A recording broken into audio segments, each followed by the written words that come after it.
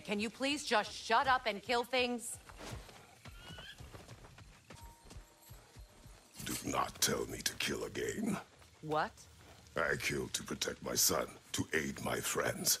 But I will be no one's monster. Never again. You will always be a monster. I know.